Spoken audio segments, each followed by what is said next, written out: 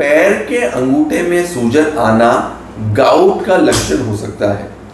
Gout का अर्थ यह है कि आपके शरीर में यूरिक एसिड की मात्रा बढ़ जाए और अगर आपके शरीर में यूरिक एसिड की मात्रा बढ़ जाती है तो पैर के अंगूठे में सूजन आ सकती है।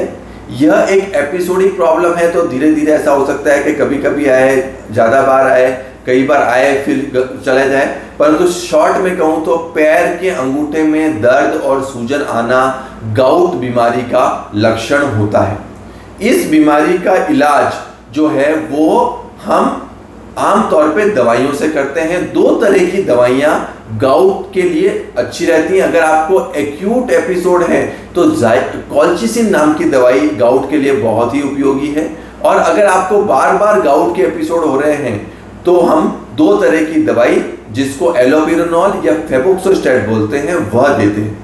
परंतु कई मरीजों को दवाइयाँ लेने के उपरांत भी पैर के अंगूठे का दर्द नहीं जाता है और वो बहुत परेशान होते रहते हैं। तो ऐसे मरीजों के लिए एम आर्थ्रोस्कोपी एक वरदान बन के सर्जरी हमारे पास आई है।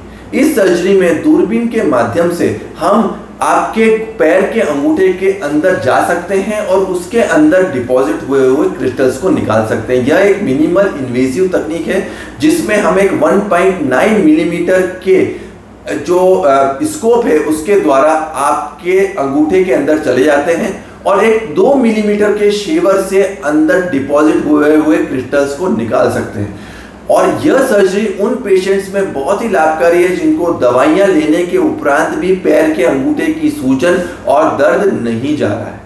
तो दोस्तों, अगर आपको गाउट की तकलीफ़ है और पैर के अंगूठे का दर्द है जो दवाइयों से कंट्रोल में नहीं आ रहा है तो ऐसी परिस्थिति में एम आर्थ्रोस्कोपी आपके लिए बहुत ही लाभकारी सिद्ध हो सकती है।